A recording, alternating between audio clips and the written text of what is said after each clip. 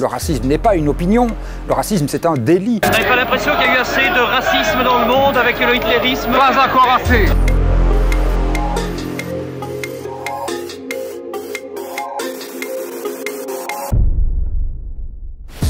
Ce genre de comportement d'incitation à la haine et à la discrimination raciale pourra être désormais puni. Le racisme, il a continué, malheureusement, évidemment, après la loi Moreau. Recevoir des euh, sales négresses dans mon pays, en fait, c'est pas drôle, quoi. Malheureusement, encore aujourd'hui, il y a des expressions de racisme, elles changent de forme, elles changent de modalité d'expression, et donc on doit continuer euh, à les combattre. Six mois de prison, dont 15 jours ferme pour celui qui a proféré des propos racistes. Le racisme, il pourrit la vie de tous les jours de beaucoup de concitoyens. C'est un vrai débat continu. C'est pour ça qu'on a voulu continuer à en combattre dans ces webinaires, dans ces séminaires à distance, pour parler de l'histoire de, ce, de cette condamnation du délit raciste, pour parler de son actualité aujourd'hui, pour parler de la décolonisation des esprits, de la décolonisation aussi du vocabulaire, et faire en sorte qu'à travers tout ça, on lutte contre le racisme, mais aussi contre ses racines les plus profondes. C'est une loi qui a pu être mise sur pied euh, parce qu'il y a eu un attentat à Anvers à l'époque euh, qui a remis le débat sur la table. C'est une loi qui était dans les cartons depuis un certain temps de mon papa et euh, il a pu à ce moment-là obtenir la majorité pour la voter.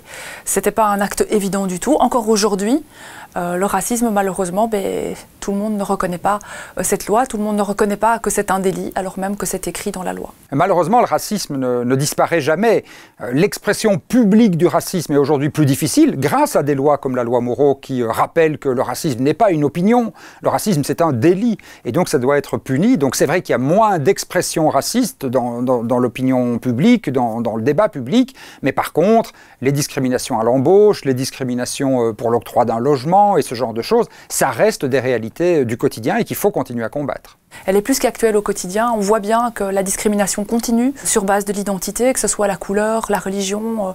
Euh, ça peut être n'importe euh, quel élément de l'identité qui donne lieu à une discrimination. Et là, eh bien, il y a lieu de s'organiser, il y a lieu de déposer plainte, il y a lieu d'aller plus loin.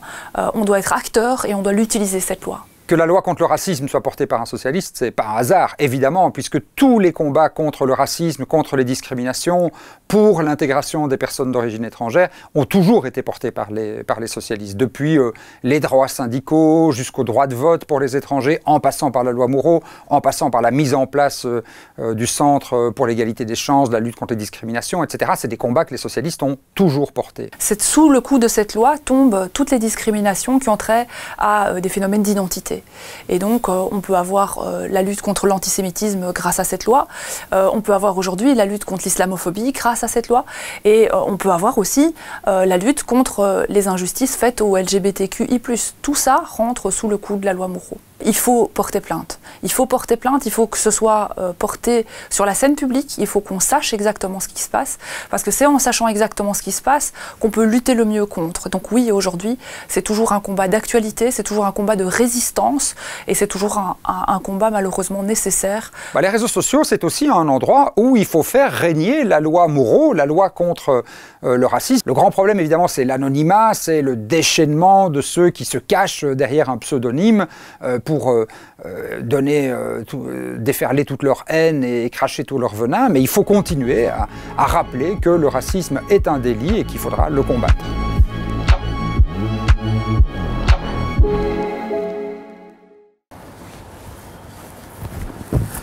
Bonsoir à toutes et tous. Je vais d'abord inviter mes invités à retirer leur masque puisque nous sommes dans de bonnes conditions sanitaires.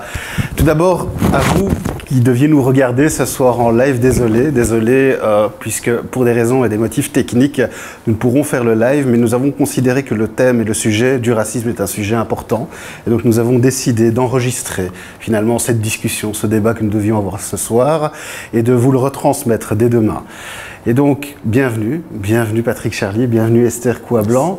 Je vais commencer par vous, Esther. Esther, vous êtes diplômée de l'Université catholique de Louvain et directrice du MRAX. Patrick Charlier diplômé de l'Université catholique de Louvain également et co-directeur d'UNIA. Merci à tous les deux d'avoir répondu présent.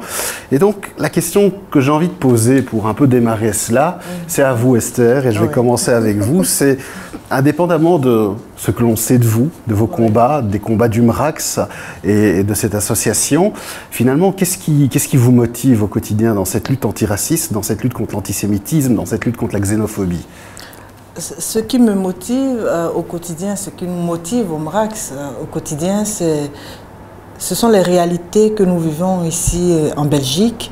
Euh, le fait de constater que malgré les lois qui ont été votées depuis 1981, avec euh, certaines lois qui sont venues la, la, compléter, cette loi-là, on assiste toujours et de plus en plus à des faits de racisme, à des crimes de haine, à des appels à la violence. Et euh, mon souhait le plus ardent, c'est de participer à, la, construction de cette cohésion sociale euh, pour laquelle nous nous sommes engagés en tant que euh, comment dire, militante antiraciste. Donc voilà, c'est ça qui me motive, c'est comment faire pour qu'il y ait plus d'égalité, comment faire pour qu'il y ait plus de justice sociale, comment faire pour que ce monde-là soit meilleur qu'il ne l'est aujourd'hui. Donc voici un peu euh, oui, mais ce militantisme antiraciste, c'est un peu ce qui nous réunit ici avec nos différentes casquettes. Et euh, c'est aussi vers, euh, vers, toi, Patrick, que j'ai envie de me tourner, puisque ce militantisme, on le voit, il, choisit, euh, entre guillemets, plusieurs canaux. Il y a l'associatif, l'ONG, le politique. Et tu as décidé depuis 2001, comme directeur, finalement, co-directeur, pardon, d'UNIA, décidé depuis 2001 de choisir une voie plus institutionnelle. Et finalement, comment se complètent ces différentes voies entre la voie quasi institutionnelle que représente UNIA, les voies associatives, la voie militante, la voie politique, et puis pourquoi cette voie institutionnelle? Alors d'abord j'ai un passé associatif puisque j'ai travaillé euh, pendant 9 ans à la Ligue des droits de l'homme, Ligue des droits humains aujourd'hui. Euh, j'ai commencé là comme objecteur de conscience d'ailleurs, euh, donc j'ai fait vraiment toute ma carrière dans le domaine des, des, des droits humains. L'émergence d'institutions comme UNIA, hein, le, Centre pour l'égalité des chances qui a été créé en 1993, euh, et l'émergence d'un nouvel acteur euh, dans le paysage. Euh, c'est vrai qu'on nous confond parfois avec les, les, associations, le monde associatif, la société civile, ce qu'on n'est pas. On est un organe public, mais nous ne sommes pas une administration non plus. Nous n'avons pas de ministre de tutelle. On dépend des différents parlements. Et dans ce paysage-là, on peut être associé à des instances comme le délégué général aux droits de l'enfant, euh, comme les, médiateurs, euh, euh, comme le comité P, comité I, et d'institutions publiques qui ne dépendent pas de l'exécutif mais du législatif et qui travaillent donc de manière indépendante. Moi, je rends compte comme directeur à mon conseil d'administration. Je n'ai pas de ministre de tutelle, je ne reçois pas de note verte. Euh, euh, et donc, c'est le conseil d'administration qui est euh, souverain dans les décisions que, nous prenons, les orientations qu'on prend, plan stratégique. C'est eux qui, m'ont engagé, d'ailleurs. Hein, J'ai été candidat dans ce cadre-là. Et donc, dans ce paysage, il est important de savoir d'où on parle et qui parle. Le monde associatif, la société civile a tout son rôle à jouer et on est en discussion régulière avec le MRAX, mais aussi la coalition NAPAR, etc. Ils ont probablement euh, euh, des modes d'action et parfois euh, une, liberté de parole que nous n'avons pas nécessairement, mais on a un autre rôle à jouer et on doit travailler en bonne intelligence. On, s'est constitué d'ailleurs en matière de racisme une commission d'accompagnement pour nos travaux. Hein, Esther en fait partie. Il y a comme ça une quarantaine à la fois d'associations, de partenaires sociaux, des représentants syndicaux s'y retrouvent, euh, euh, mais également des académiques, qui est pour nous une caisse de résonance pour nous accompagner dans le travail qu'on fait dans la lutte euh, contre le racisme. Et c'est des institutions, et je pense que ça c'est tout l'honneur d'un État comme la Belgique, hein, qui, fait partie, je pense, de, de, ce, ce qu'on va appeler une démocratie, d'avoir des institutions publiques qui sont là pour veiller aux droits fondamentaux des citoyens. Et donc nous avons la possibilité, effectivement, d'agir en justice, et ça nous arrive d'aller en justice contre des pouvoirs publics contre des administrations, contre des, contre des communes, euh, euh, parce que nous estimons qu'il y a de la discrimination. Alors il y a quelque chose de curieux qu'on soit financé pour ça, mais voilà, on fait respecter euh, le droit. Et on estime que ce type d'institution est importante au nom d'un principe démocratique et du respect des droits fondamentaux de l'ensemble des citoyens. Je vous remercie, mais effectivement, c'est passionnant parce qu'on se rejoint dans cette lutte importante qui est la lutte antiraciste. Et on se rejoint à un moment anniversaire, puisque si nous sommes là dans ce premier jeudi de l'Institut Émile van der Velde, c'est notamment euh, à l'aube finalement des 40 ans de la loi Moureau. Alors, cette loi Moureau, elle est prise, elle est votée dans un contexte, elle dit certaines choses. Je vais vous laisser peut-être regarder un premier extrait visuel et vidéo avant de vous faire réagir. Pour mieux comprendre la portée de la loi, voici quelques diapositives. Voici l'affiche d'un film réalisé par les nazis, Le Juif Sus. Des films, des livres, des journaux seront-ils euh, aussi pour, passibles de poursuites euh Oui, euh, en vertu de l'article 1er, encore une fois, s'il y a incitation à la haine ou à la discrimination raciale, on pourra poursuivre les auteurs de ces opuscules ou de ces articles. Voici maintenant une photo prise pendant l'occupation en France, une cabine téléphonique avec la mention interdit aux juifs. Et voici une autre photo prise celle-là aujourd'hui en Belgique. Cette photo interdit l'entrée aux Nord-Africains. Ça se passe en Belgique. Alors vous l'avez vu, interdit aux Juifs, interdit aux Nord-Africains. Malheureusement, on voit que l'histoire se répète, surtout dans ses dessins les plus sombres, l'antisémitisme, le racisme, la xénophobie. C'est un contexte, un contexte historique qui a vu euh, j'ai fait quelques petites recherches. Semble-t-il, la première proposition de loi aurait été déposée en 1950 par le sénateur du POB Henri Rollin, dans un contexte de flambée finalement de l'antisémitisme. Puis on a la Convention de l'ONU de 65, ratifiée par la Belgique en 75.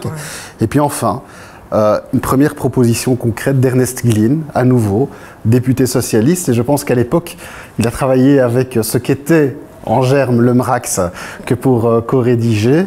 Cette proposition de loi a été redéposée à plusieurs reprises parce qu'elle n'a pas été votée à ce moment-là, jusque malheureusement, et on l'a vu, fin des années 70, début des années 80, de nombreux attentats antisémites en Europe, en Belgique également, et puis un meurtre, un meurtre commis par le Front de la Jeunesse ici à Bruxelles, à Laken, qui a finalement réveillé les consciences et qui a amené à l'adoption de la fameuse loi Moreau en juillet 1980.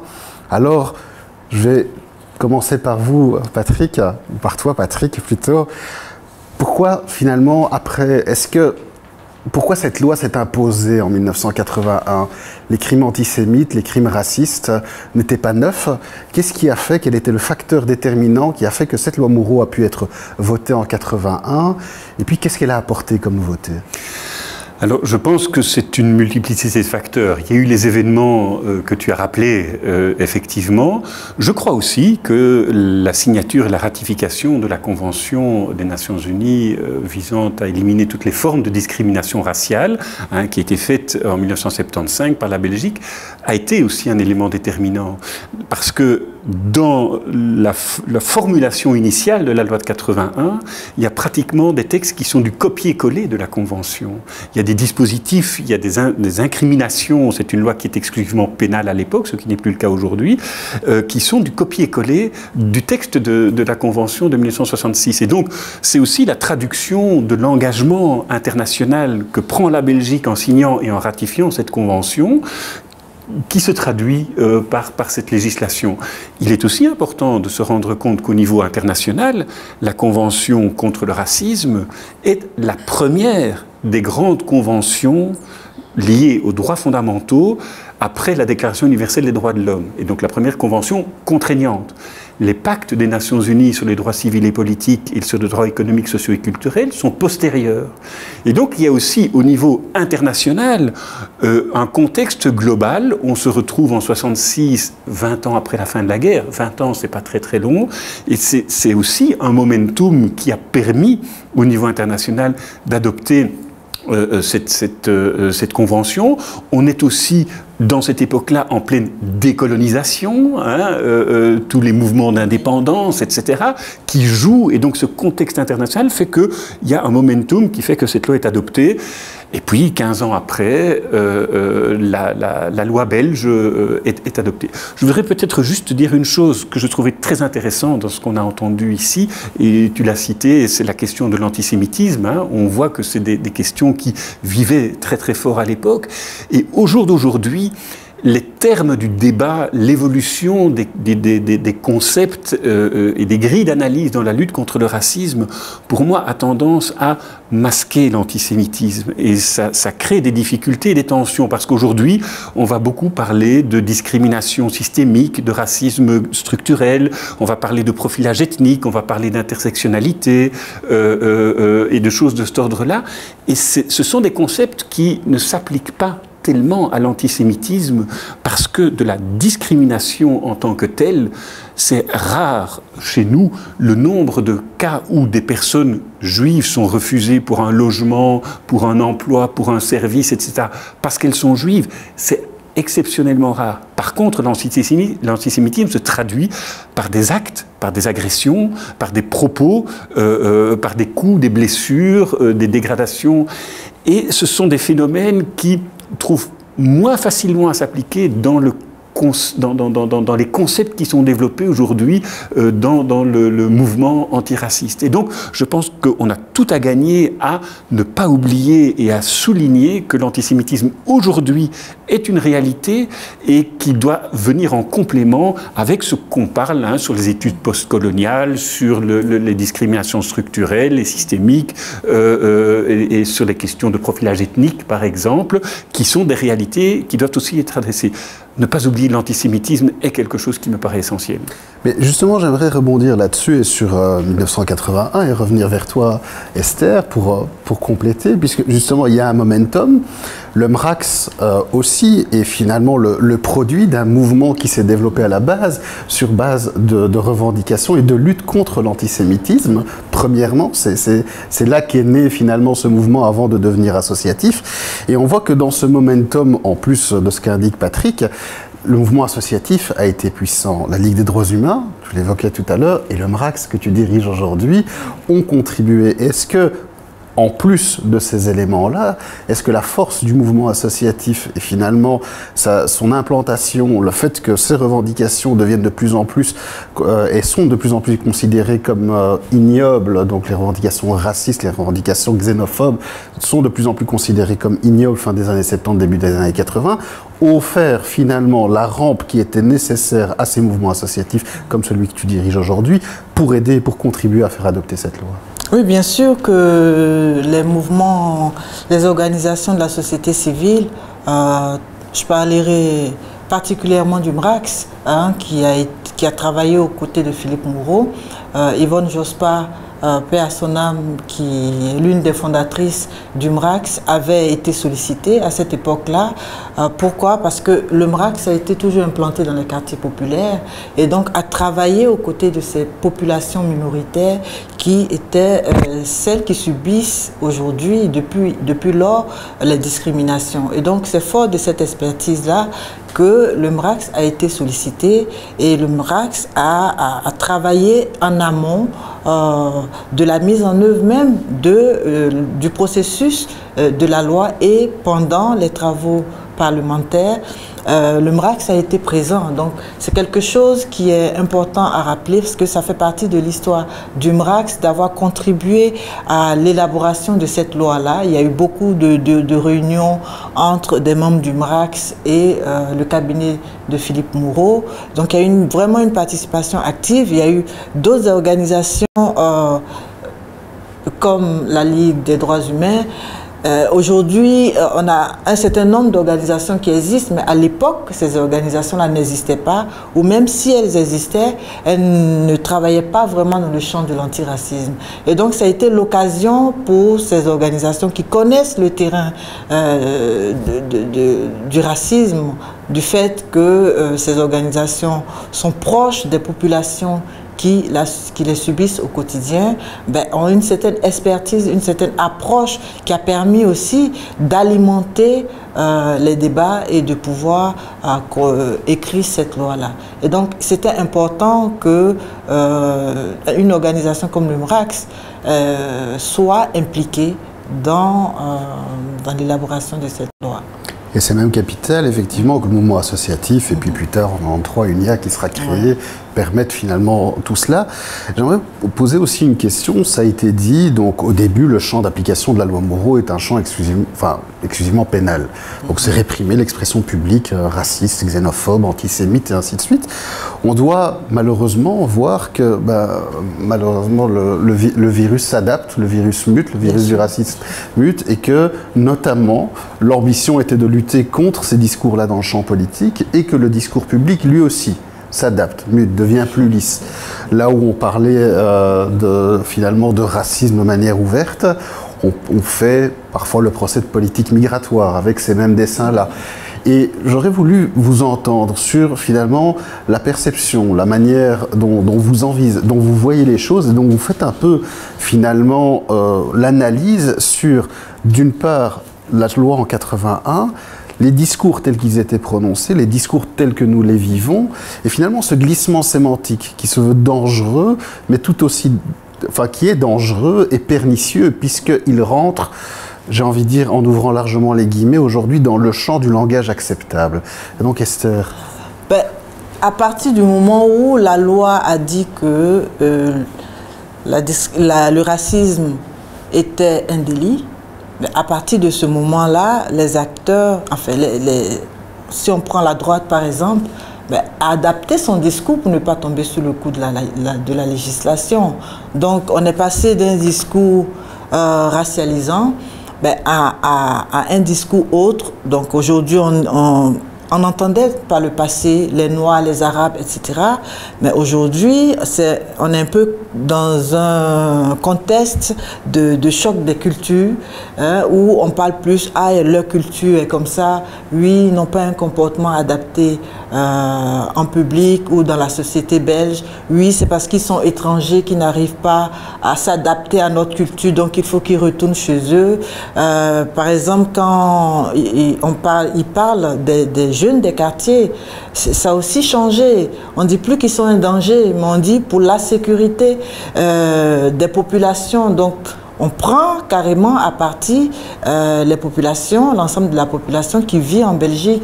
Mais derrière, en fait, le discours s'est dit, ces jeunes-là, ils sont dangereux, ces jeunes-là, euh, ce sont des criminels, etc. Donc, il y a une, stratégie d'adaptation pour échapper justement à, la législation, puisque la législation, elle est claire, la loi, elle est claire.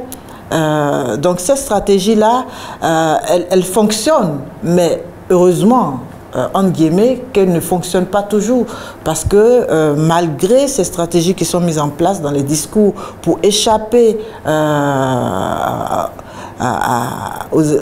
comment dire ça, aux conséquences des infractions, ben, il arrive que des personnes ben, tombent quand même, n'arrivent pas à, échapper à cela et que euh, on puisse intenter des procès contre ces personnes-là. Donc le discours, il a changé.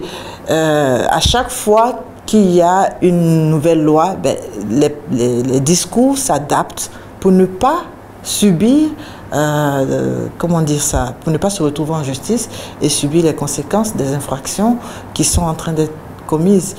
Donc, il faut être vigilant. Euh, et quelque part, le fait de dire que oui, leur culture, est-ce que euh, derrière, est-ce que ça, on peut dire que euh, c'est de l'incitation hein, à la haine Donc, il y, a tout, le problème de l'intention qui est derrière. Donc, voilà. Justement, le mot vigilance a été, a été prononcé. Et, et donc, je sais que UNIA est vigilant. J'ai encore lu un papier, euh, je pense hier ou avant-hier, d'UNIA, où on faisait le parallélisme entre la condamnation du Vlaams-Bloc et le discours aujourd'hui du Vlaams-Belang. Et donc là-dessus, justement, sur ce glissement sémantique de l'extrême droite, ce glissement sémantique du racisme, finalement, comment UNIA interprète les choses et, puis comment UNIA aussi euh, fait œuvre de vigilance dans l'examen du discours public, du discours politique, et peut nous permettre je sais que de décoder parfois les clés du discours facile pour ne pas tomber dedans une première réflexion euh, qui, est apparue en 2013, on avait fait un colloque pour les, 20 ans d'UNIA, hein, c'était 20 ans de lutte contre le racisme euh, par, l'organisation, et puis on se tournait vers l'avenir. Euh, et quelque chose qui est frappant, c'est qu'aujourd'hui, de manière générale, commune, le racisme est perçu comme étant quelque chose de mauvais, de négatif, qu'on ne peut pas assumer. Ce n'était pas le cas auparavant. Il y en a qui pouvaient assumer, etc. Et donc, il y a une sorte de consensus social, à tel point que si vous allez sur le site du Vlaams Belang, ils vont développer des éléments tirés de l'une ou l'autre décision en disant le Vlaams Belang n'est pas raciste. Et donc, ils ont ce discours en disant ils veulent se décoller de cette étiquette-là. Et dans, ce, dans cette idée-là, effectivement, aujourd'hui, tout le monde sait que un propriétaire ne peut pas dire je ne veux pas de noir, qu'un employeur ne peut pas assumer je ne veux pas d'un étranger. On sait que c'est quelque chose qui est... Et donc ça c'est au moins une avancée. Le problème, c'est que la discrimination devient cachée et elle est sournoise, elle n'est plus dite. Et on va chercher des euphémismes pour dire non, vous ne convenez pas pour ceci ou pour cela. Et donc ça devient plus difficile. Et c'est pour ça que nous plaidons pour la mise en place de tests de situation, pour détecter euh, euh, ce type de, comportement indirect et caché, etc. La deuxième chose, c'est que vous savez que euh, UNIA a eu un grand procès contre les trois ASB du Vlaams bloc à l'époque, qui ont obtenu, on a obtenu une condamnation importante. Et puis on a continué la vigilance, on a continué à, recevoir euh, toute une série de publications, euh, de tracts, euh, etc., du, qui est devenu Vlaams Belang. Et c'était vraiment très très étonnant. Enfin pas étonnant, mais c'est remarquable, pas dans le sens exceptionnel, mais on a pu le remarquer, c'est que toutes les publications passaient par la place Madou, le siège du Vlaams Belang, et ils étaient toujours sur la ligne. Ils avaient lu l'arrêt de la Cour d'appel de Gand de 2004 et ils étaient toujours sur la ligne, entre guillemets, du bon côté. C'est-à-dire qu'ils ne laissaient plus rien passer qui risquait de les faire euh, poursuivre et condamner. Et on a fait cette analyse assez, pointue euh, euh, régulièrement. On rapportait d'ailleurs à notre conseil d'administration, il n'y avait pas assez d'éléments et donc ils étaient attentifs. Ils ont abandonné le plan en 70 points sur la migration qui comprenait des propositions et qui n'existe plus aujourd'hui non plus, c'est aussi une évolution. Ils proposaient de la ségrégation scolaire.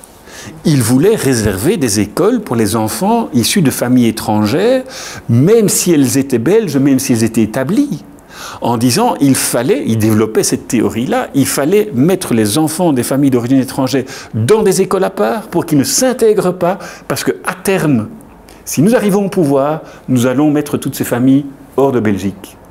Et donc c'était vraiment de la ségrégation. C'était des propos. Ils interdisaient dans leur programme, ils voulaient interdire aux familles d'origine étrangère de devenir propriétaires.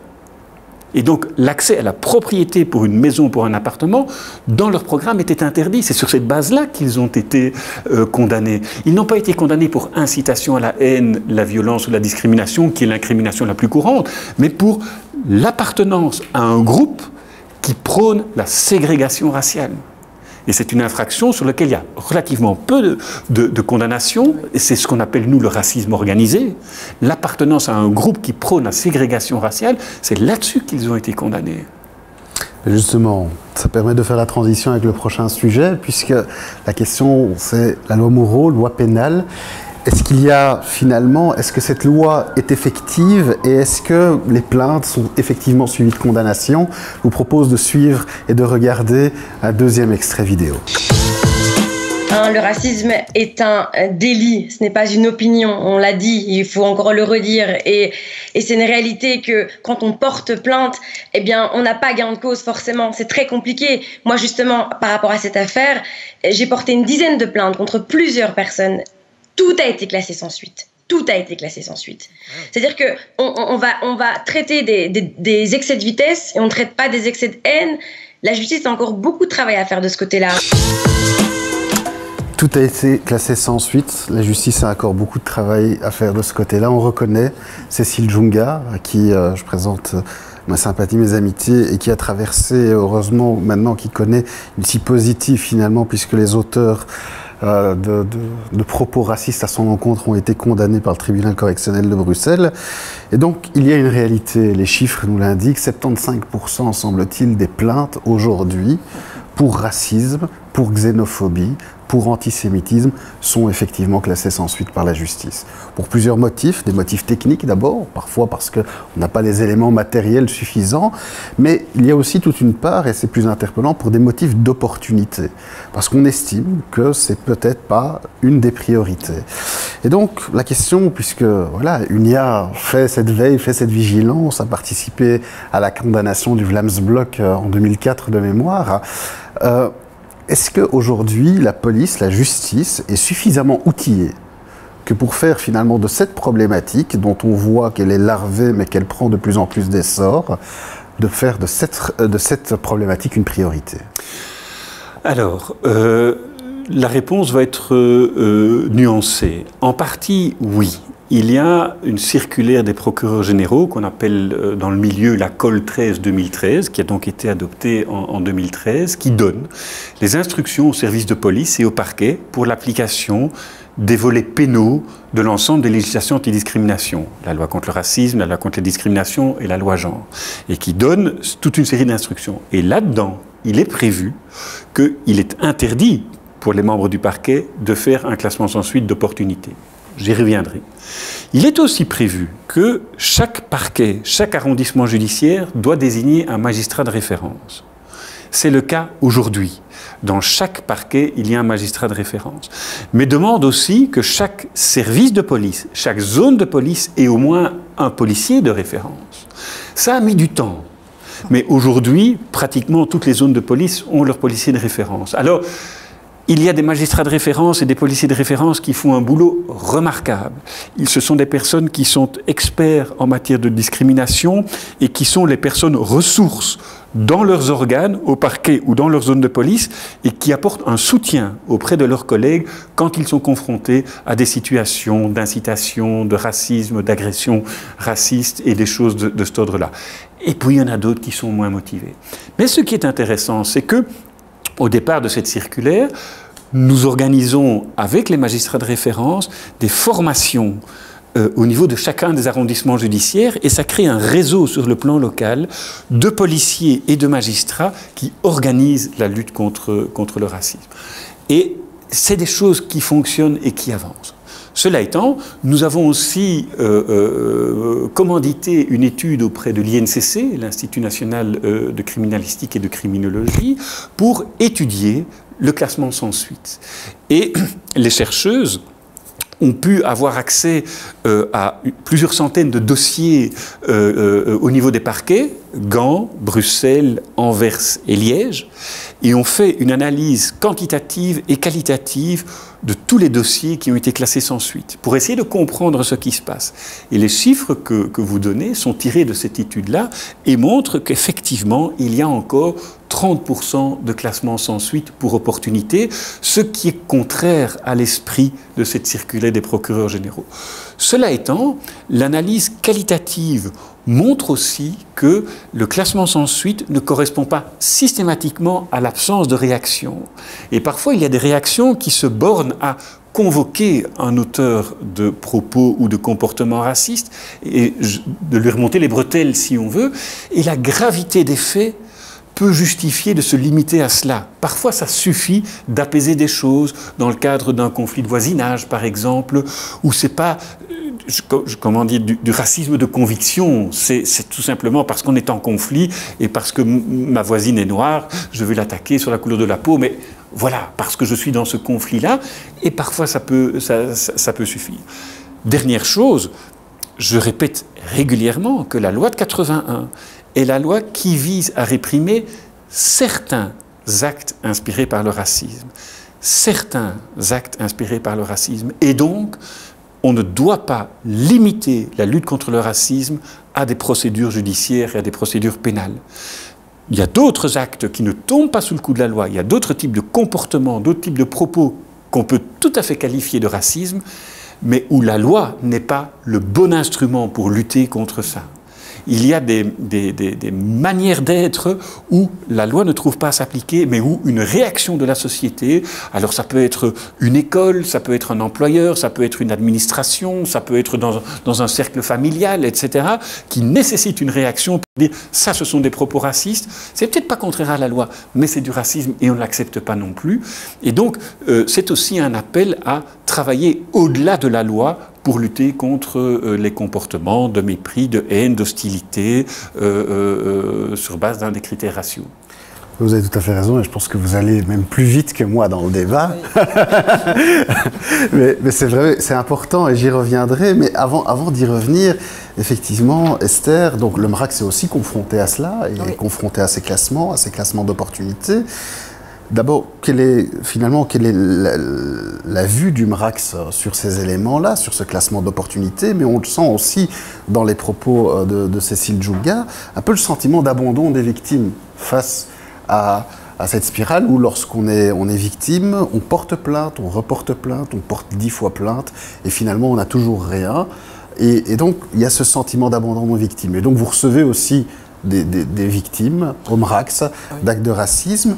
Donc, expliquez-moi un peu votre expérience, la manière dont, vous les recevez, la manière dont vous les accompagnez, la manière dont vous vivez aussi euh, ce, qu'a dit Patrick à travers ce classement sans suite, parfois technique, mais parfois d'opportunité.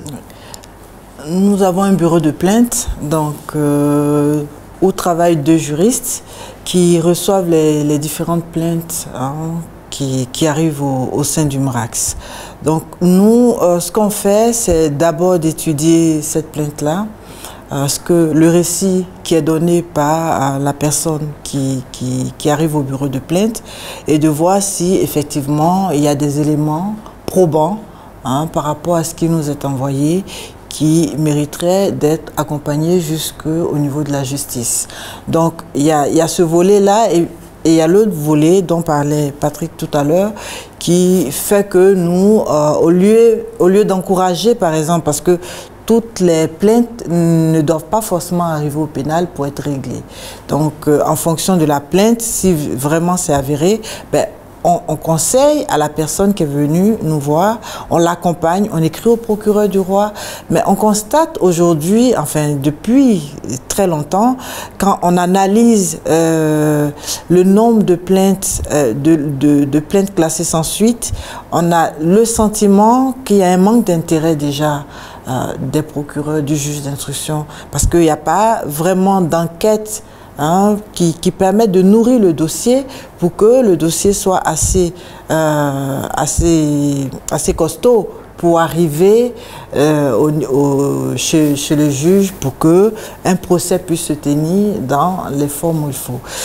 ça, c'est encore plus loin. Mais avant ça, déjà, quand les personnes arrivent, déjà, euh, au commissariat pour porter plainte. Là aussi, il y a un problème parce que le policier, parfois, qui reçoit, euh, juge que ce n'est pas un fait euh, qui, qui mériterait Hein, d'aller au pénal, qui mériterait qu'on porte plainte et que, voilà, euh, c'est pas utile de porter plainte. Donc, les personnes sont confrontées déjà, dès le départ, à, à la réception même, à l'accueil que la police réserve euh, euh, comment dire ça, aux personnes qui arrivent. Et pour nous, ça, c'est vraiment un problème parce que euh, en faisant un peu de recherche, on s'est rendu compte que mais cet accueil-là, cette façon d'accueillir les plaignants, Hein, les personnes qui arrivent, mais ce n'est pas seulement au niveau des faits de discrimination et autres, mais même des femmes qui se font violer, qui vont porter plainte, etc.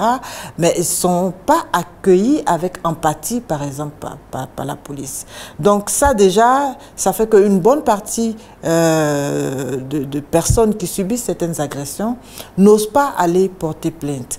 Après, euh, une fois que la plainte est portée, il faut pouvoir euh, prouver qu'il y a eu intention voilà, de discriminer. Et c'est là où il y, a le, gros souci.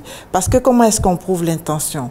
Parce que l'intention, aujourd'hui, a pris le pas sur le fait, euh, le, crime ou le fait de discrimination lui-même.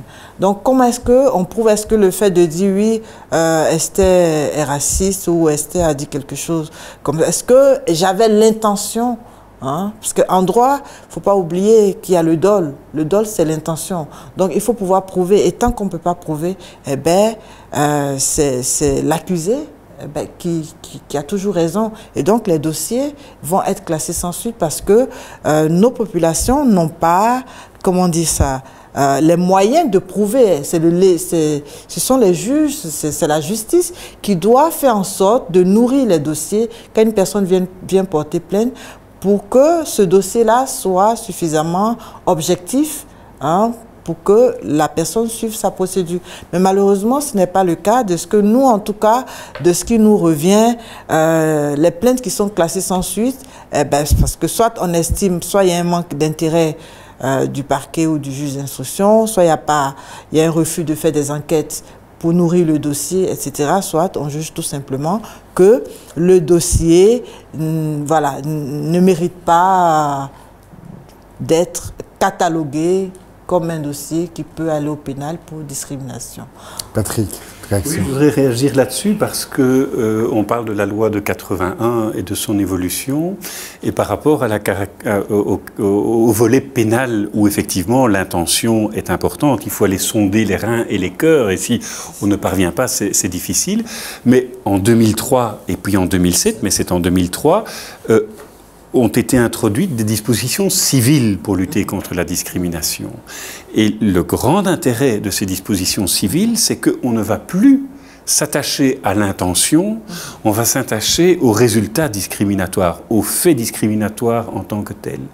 Et donc, quand on parle de discrimination, hein, donc euh, euh, refus d'un logement, euh, refus d'une promotion et des choses de cet ordre-là, si on parvient à démontrer qu'il y a une présomption de différence de traitement, et notamment, nous avons développé un outil sur notre site internet, comment prouver la discrimination la raciale au logement, en donnant une méthodologie pour pouvoir faire un test de situation. Et cette méthodologie a été validée par un tribunal civil, hein, pas par un tribunal pénal, où par des enregistrements, on a pu faire présumer une différence de traitement, et c'est à la partie adverse de prouver qu'elle n'a pas fait de différence de traitement. Et si elle ne parvient pas à le prouver, la discrimination est reconnue, même si elle n'en avait pas l'intention, et on ne va pas chercher sa volonté. Et je reviens sur ce que je disais tout à l'heure, la difficulté qu'il y a quand on parle des discriminations raciales, c'est que les personnes sont parfois, elles vont discriminer sans s'en rendre compte, et elles vont être, se sentir accusées d'être racistes. Et comme il y a un stigmate sur le fait du racisme, c'est une difficulté de reconnaître le résultat discriminatoire des processus qui sont en cours. Et c'est une des grosses difficultés de faire reconnaître, alors je sais que c'est un autre débat, mais la question des discriminations structurelles, parce que quand on parle des discriminations structurelles, ce sont des mécanismes de notre société ah qui, en emploi, en logement, en santé, font que les, les inégalités se reproduisent de génération génération, et certains vont dire Ah, ça veut dire qu'il y a un entre guillemets, un complot raciste. Il y a des gens qui sont là en train de penser, on va organiser cela pour continuer. Mais la question n'est pas là. C'est un résultat de notre organisation sociale qui fait que euh, on fonctionne sur un système euh, majoritaire de, de domination, on est plongé dedans, on ne s'en rend pas compte, et donc il faut reconnaître ça pour pouvoir le changer sans mettre le stigmate de dire vous êtes un méchant raciste. Et c'est un combat au quotidien parce que quand on rentre dans des dossiers de discrimination, je ne parle pas des actes de haine ou des discours de haine, mais dans des dossiers de discrimination, on doit dire on ne veut pas vous, dire que vous êtes un mauvais raciste, mais regardez, voilà le résultat, il y a quelque chose qui est inégal. Est-ce que vous acceptez de le reconnaître et de changer vos procédures et votre manière de faire pour éviter ce type de biais euh, dans votre manière de faire? Cela étant, il y a la discrimination aussi volontaire et intentionnelle, ça existe aussi. Hein. Euh, on ne va pas cacher cette réalité-là, mais ce qui est important, c'est que quand on parle de discrimination, on ne doit pas chercher cette intention, mhm. on ne doit pas la démontrer et la prouver.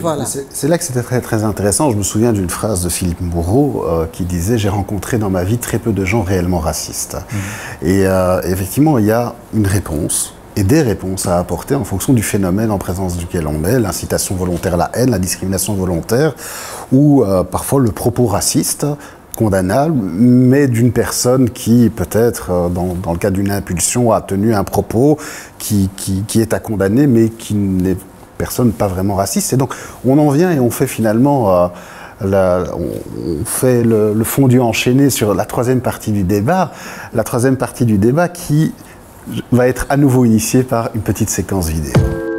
L'individu a écrit des insultes et des menaces de mort à Cécile Djunga. Il est poursuivi pour incitation à la haine raciale et à la violence. Aujourd'hui, le tribunal correctionnel de Bruxelles le condamne à six mois de prison, dont 15 jours ferme le reste avec sursis.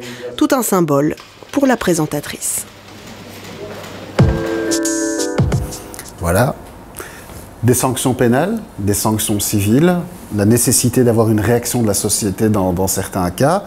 Moi, j'ai envie de poser des questions, puisqu'on est en présence d'un phénomène qui est polymorphe. C'est d'une part pour les vrais racistes, ceux qui incitent volontairement à la haine, à la ségrégation. Est-ce que l'arsenal pénal législatif est suffisamment adapté? Et puis, pour tout le reste, est-ce que l'arsenal législatif est simplement adapté? Et donc, c'est la première question que je vais vous poser. Alors, euh, D'abord, je trouve que l'affaire de Cécile Djunga est emblématique d'une réalité, euh, puisque au départ, on parle de propos, de comportements racistes, harcelants, qui la visent directement par les réseaux sociaux. Et entre le moment où elle pousse son cri de gueule au mois d'août et le moment où il y a une condamnation, on est deux ans après, deux ans et demi après. Et donc le temps judiciaire ne correspond pas au temps des réseaux sociaux. Nous avons de plus en plus de condamnations pour des propos qui sont tenus sur Facebook, sur Twitter, sur des, forums de discussion, etc. Et donc, il n'y a pas d'impunité sur ce qui se passe dans les réseaux sociaux, mais la réponse pénale, la réponse judiciaire ne répond pas à l'urgence de l'actualité quand on est confronté à cette situation-là. Il est aussi si je peux dire quelque chose, parce que nous, on était en contact avec Cécile Djunga dès le départ et avec la RTBF, on a été parti à l'action. Et d'ailleurs, l'auteur a été poursuivi pour d'autres faits et d'autres propos qu'il tenait qui ne concernaient pas Cécile Djunga. Donc il y avait deux dossiers qui, étaient joints. Mais Cécile Djunga, qu'est-ce qu'elle a fait? Au fur et à mesure qu'elle recevait des insultes, euh, etc., elle les effaçait. Parce qu'on ne supporte pas de recevoir ça. Une fois qu'on efface, on perd la preuve. Alors c'est extrêmement difficile pour quelqu'un qui fait face à ce type de comportement de dire gardez tout, parce que c'est du matériel qui permet de remonter vers les auteurs des propos. Euh, euh, parce que quand on est face à ce type de harcèlement, à ce type de menaces, etc., la seule chose qu'on veut faire, c'est nier les gens, c'est mettre ça de côté et d'effacer. Ce qui est, un, entre guillemets, un mauvais réflexe si on veut euh, faire des poursuites judiciaires pour pouvoir retrouver les, personnes. Et donc, l'arsenal, il est suffisant, mais peut être amélioré. Une des revendications que nous avons, c'est que, aujourd'hui, le Code pénal prévoit pour toute une série d'infractions, ce qu'on appelle le mobile abject. C'est-à-dire que si, lorsqu'il y a coups et blessures, harcèlement, dégradation euh, euh, de biens matériels, euh, dégradation de, tombes et des choses de cet ordre-là, et qu'on peut démontrer qu'il y avait une intention qui était fondée sur le mépris ou l'hostilité de la personne en raison de la couleur de sa peau, de son origine, de son ascendance, etc., les peines sont doublées. Ce qu'il y a, c'est que le nombre d'infractions pour lesquelles les peines sont doublées est limité. Et nous demandons que c'est l'ensemble des infractions du Code pénal qui puissent euh, euh, euh, bénéficier de ces circonstances aggravantes. La Belgique a fait l'objet d'une procédure en infraction au niveau de la Commission européenne parce que ce Code pénal ne prévoit pas par exemple, de circonstances aggravantes pour torture, traitement inhumain et dégradant. Alors qu'il peut y avoir des situations de torture, traitement inhumain et dégradant pour des motifs racistes, pour des motifs homophobes, pour des motifs antisémites, pour des, euh, pour, des personnes handicapées. Hein. Il, y a, ça, par exemple, on, voit ça des, dossiers où des personnes de handicap mental qui se font harceler, maltraiter, etc. Et là, il n'y a pas de mobile abject. Et donc on ne sait pas poursuivre ce mobile. Et donc la Belgique euh, est, en procédure d'infraction et nous demandons que dans le cadre de la réforme du Code pénal, puisqu'il y a une grande réforme qui est prévue, d'avoir une disposition générale disant que quelle que soit l'infraction, s'il y a un mobile lié à la haine ou l'hostilité sur base de l'origine, de la couleur de la peau, de l'orientation sexuelle, la peine puisse être euh, aggravée euh, euh, et puisse être sanctionnée de ce fait-là. Et donc là, la législation peut, s'améliorer. Mais donc une aggravation de la peine, la question que je pose aussi, c'est est-ce qu'il faut un développement de certaines peines alternatives auxquelles on ne pense pas, des peines éducatives, par exemple, pour toute une série de personnes qui euh, parfois posent des actes par reproduction ou autre, mais qui n'ont une conscience relative de ce qu'elles font, et donc où on se dit que la peine d'emprisonnement n'est peut-être pas la peine la plus utile pour cette personne. Esther oui, bien sûr qu'il faut développer ces, peines alternatives-là. Mais nous, la question que nous nous posons, comment est-ce qu'on peut mesurer l'efficacité, c'est-à-dire euh, l'objectif est-ce que l'objectif a été atteint? Parce que c'est pas parce que, je prends un exemple, hein, une personne suit une formation hein, pour déconstruire les stéréotypes euh, et les préjugés que demain, cette personne-là ne développe plus ça. Comment est-ce qu'on fait? Oui, c'est important euh, de les développer parce que ce n'est pas forcément en allant en prison que euh, les choses changent. Parfois, ça s'aggrave même étant, étant en prison.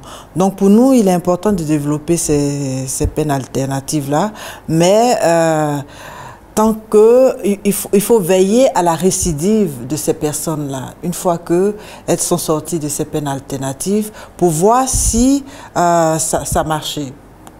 Pour le moment, dans ce que je sais, avec les recherches que, que j'ai eu à faire depuis que je suis au MRAX, j'ai pas encore vu euh, une personne qui a été condamnée euh, une seconde fois. Peut-être que ça existe, hein, Patrick Charlier, mhm. euh, dans le milieu depuis plus longtemps que moi, qui, qui, a récidivé et donc qui a été condamné encore pour le même fait. on se dit, s'il n'y a pas plus d'une condamnation, Hein, pour ces peines alternatives, pour des personnes qui ont eu à exécuter ces peines alternatives, c'est que c'est quelque chose qui marche et qu'il faudrait développer. Parce que même si la personne finit sa peine alternative, euh, on sera déjà content que dans sa tête, même si euh, la personne ne change pas hein, sa façon de penser, mais que dans le comportement déjà, la personne ne l'exprime plus, pour nous, c'est déjà un pas euh, en avant par rapport à je pense que c'est aussi important, effectivement, je vais, venir vers toi, Patrick, parce qu'aujourd'hui, je pense que la justice dispose d'outils, la médiation pénale, la peine de probation, la peine de travail. Et puis récemment, bah, j'ai envie de dire, le Parti socialiste a fait modifier euh, la législation de telle manière à ce qu'en matière de peine de travail, en matière de peine de probation, le juge puisse demander que dans l'exécution de ces peines, lorsqu'il y a un motif abjecte, comme tu le dis, il y a finalement un biais qui soit pris dans cette peine pour permettre euh, finalement de lutter contre ce phénomène. Est-ce qu'on a déjà une première analyse de cette modification euh, législative, de ses effets, positifs ou négatifs Et est-ce qu'il faut peut-être amplifier la mécanique? Alors, il faut certainement l'amplifier. Nous avons eu l'occasion de faire, il y a euh, une petite dizaine d'années, je pense, euh, une étude euh, par un service de criminologie de l'université de, Leuven sur les, peines alternatives ou les mesures alternatives en matière d'infraction aux législations contre le racisme et, contre les discriminations. Il y a une partie qui s'est attachée euh, euh, plus aux victimes. Quel est le type de réparation qui peut être pertinent et judicieux pour les victimes? Et une partie qui est plus sur les auteurs. Comment est-ce qu'on répond à cela? Et la première chose, c'est que dans cette analyse-là, et fondée sur d'autres types d'analyses criminologiques, euh, il faut distinguer le profil des auteurs. Il y a des auteurs de faits et de comportements, de convictions qui profondément développent euh, euh, euh, une pensée, une réflexion raciste. Ils sont convaincus. Pour ce profil-là, une peine alternative n'a pas de sens. Et puis, il y a un profil qui est défini comme un profil de suiveur. Le profil de suiveur, c'est celui qui est entraîné Pour ce profil-là, une peine alternative est identifiée comme pertinente euh, parce que ça permet de sortir d'une influence euh, euh, des, uns ou des autres. Il y a un profil de provocateur. Il n'a pas nécessairement de conviction, mais il fait ça pour se faire remarquer.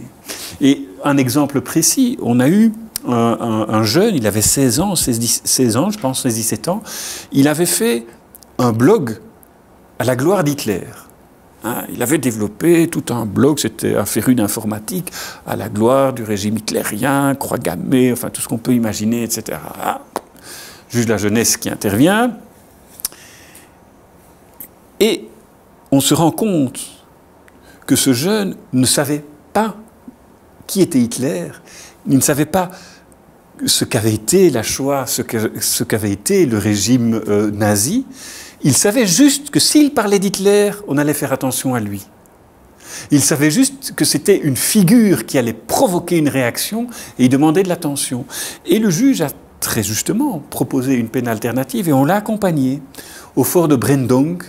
Et il a dû faire un blog de sa visite du fort de Brendong pour comprendre, et il a expliqué dans son, blog la démarche qu'il avait eue pour découvrir en fait ce qu'avait été le régime hitlérien, ce qu'avait été la Shoah, que ça avait été la déportation, euh, les camps de, concentration et d'extermination, etc. Et ce qu'il avait découvert à Brendong. Il n'y avait pas encore la caserne d'Ossin à l'époque, parce que ça c'est un lieu où il y a beaucoup de choses Là où il faut développer les choses, c'est que aujourd'hui, les services de médiation ne disposent pas d'outils pour pouvoir répondre à des mesures alternatives pertinentes par rapport aux infractions euh, euh, ou aux violations de la loi. Si je prends un, autre exemple, quand on fait une infraction au code de la route, il y a des mesures alternatives qui sont pertinentes par rapport à l'infraction. Hein. C'est des gens qui vont devoir travailler euh, dans des services d'urgence, par exemple, et qui vont voir les conséquences d'accidents, etc. Alors nous avons fait des projets pilotes pour montrer que des mesures alternatives et, et des processus et des accompagnements alternatifs étaient pertinents par rapport à ce type d'infraction.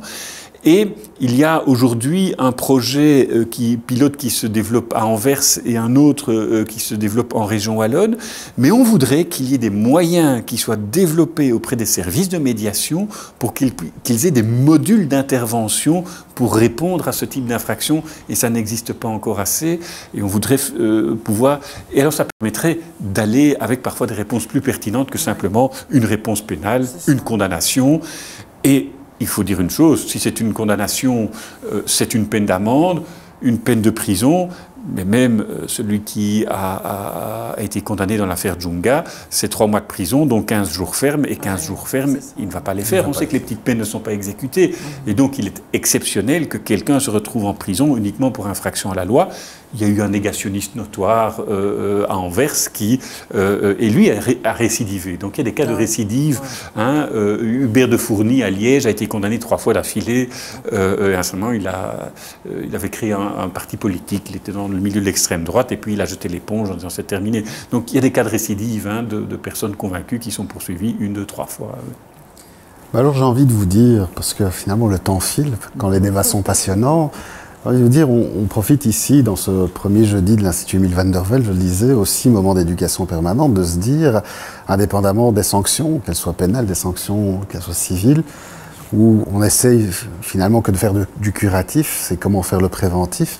Et donc là, Esther, est-ce que ben, le gros travail qui doit être fait, et peut-être aussi euh, certaines insuffisances, malgré le travail qui est déjà effectué, n'est pas dans l'éducation, dans l'enseignement et puis plus tard dans la formation continue et dans l'éducation permanente comme ce que nous essayons de faire aujourd'hui ben, Nous, notre priorité justement, c'est ça, c'est la démarche pédagogique que nous privilégions parce que pour nous, il faut traiter la question en amont. Il ne faut pas attendre qu'il qu y ait des dégâts euh, voilà, pour, pour, pour jouer au sapeur-pompier. Donc il faut former les personnes, il faut éduquer les personnes. Il faut éduquer les enfants à l'école, il faut euh, faire des formations que ce soit dans des groupes d'adultes, dans des groupes intergénérationnels, mais il faut outiller les populations à tous les niveaux.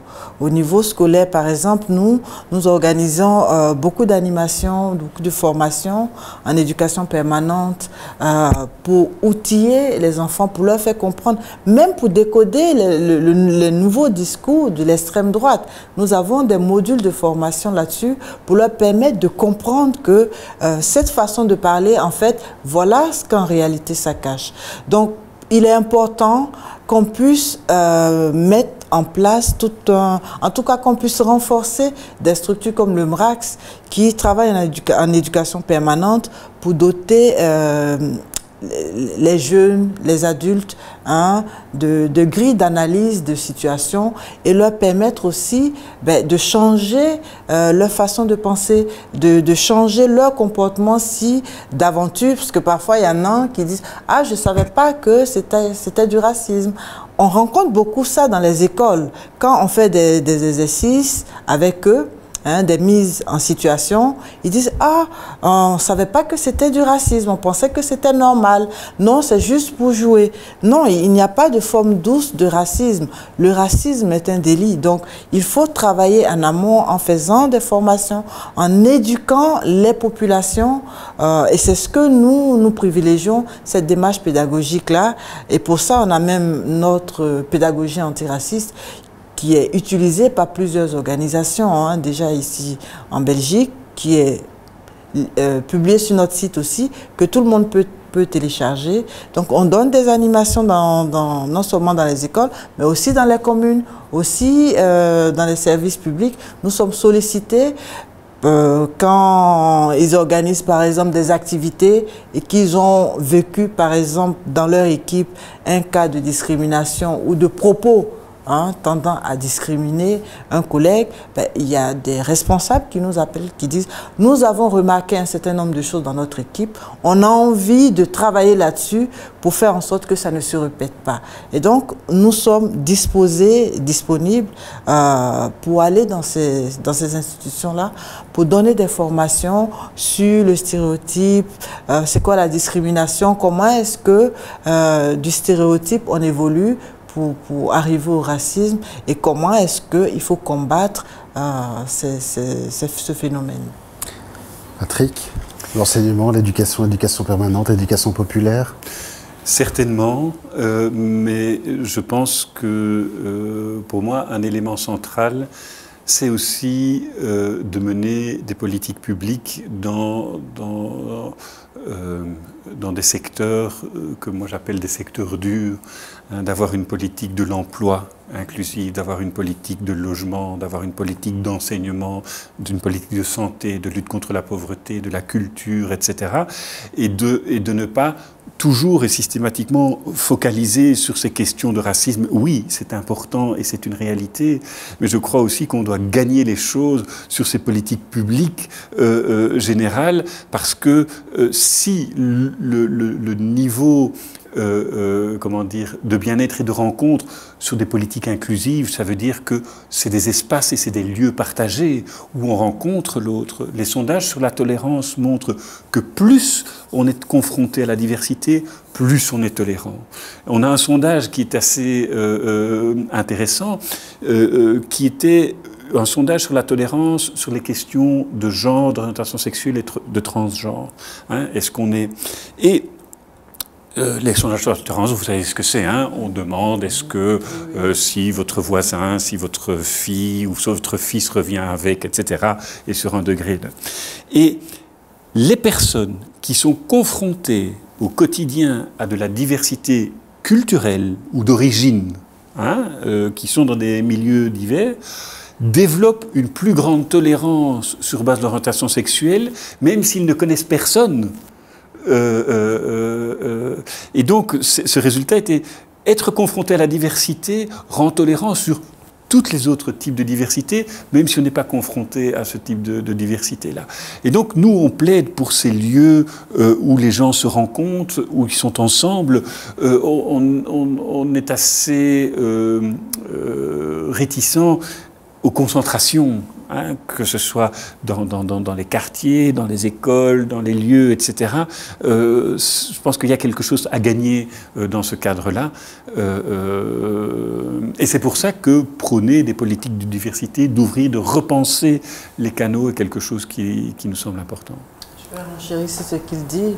Il suffit pas de, Je suis d'accord avec toi, mais je pense que les services publics, comme il dit, doivent donner l'exemple il faut donner l'exemple parce que tant qu'au niveau euh, des autorités politiques, euh, des autorités publiques, il n'y a pas d'exemple, mais la, population ne suit pas. Il faut qu'il y ait plus de diversité dans les services publics, par exemple. Il faut qu'il y ait... C'est de ça que Patrick est en train de parler. Et c'est vraiment important de montrer que celui qui est censé être le garant hein, de la démocratie dans notre pays, euh, donc le politique ben, fait en sorte que ces choses-là aussi s'appliquent. Qu'il n'y ait, pas, par exemple, euh, parce qu'on arrive dans certains services, ben, il n'y a pas de diversité. Et donc, ces personnes qui n'ont pas de contact avec la diversité ne savent pas toujours comment se comporter face à une personne qui n'est pas de la même culture qu'elle. Voilà. Donc, ça crée aussi des, des, des, zones de tension. Et je pense que euh, on gagnerait vraiment à, aller vers cette diversité-là, à faire en sorte qu'il y ait ce, ce, mélange pour que euh, euh et ça permettra, je pense, de lutter plus contre ce phénomène dont on est en train de parler ici. Ah La nécessité d'être exemplaire comme autorité publique. Je pense que c'est une belle manière de terminer. Je vais vous laisser peut-être d'abord, Patrick, un dernier mot pour, euh, pour ceux qui vont nous regarder. Vous connaissez le, les propos Je ne suis pas raciste, mais. Moi, j'ai envie de le retourner. Je suis raciste, mais. On a tous des stéréotypes c'est quelque chose qui fait partie de la nature humaine et donc on doit avoir un travail sur soi-même d'abord, entre nous, pour dépasser ces stéréotypes et pour être ouvert à la diversité et à celui qui est perçu comme autre. Mais il faut chercher d'abord ce qui rassemble plutôt que ce qui sépare. Esther, un dernier mot? Ben, Il faut faire en sorte de ne plus avoir peur de l'autre et d'accepter l'autre comme soi-même. Euh, c'est la même chose que Patrick dit. Écoutez, un grand merci, un grand merci. Le temps file vite, trop vite pour un débat comme celui-ci et, d'importance. Merci Patrick, merci Esther. Merci. Vous êtes, serez toujours les bienvenus. Et puis j'espère que vous qui allez nous regarder apprécierez finalement. Je remercie aussi toutes les équipes, hein, les équipes techniques du Parti Socialiste, les équipes techniques de l'Institut Emile van der Velde. Et comme je l'ai dit, les jeudis de l'IEV, c'était la première édition. Il y en aura trois tout au long des trois autres jeudis du mois de juin le prochain, le 10 juin prochain, avec comme question principale quelles sont les manifestations du racisme aujourd'hui et qui sera animé par ma collègue et camarade Joël Campompolé. Je vous donne déjà rendez-vous jeudi prochain. Merci et une belle soirée ou journée en fonction de l'heure à laquelle vous nous regarderez. Merci Esther, merci Patrick. Merci.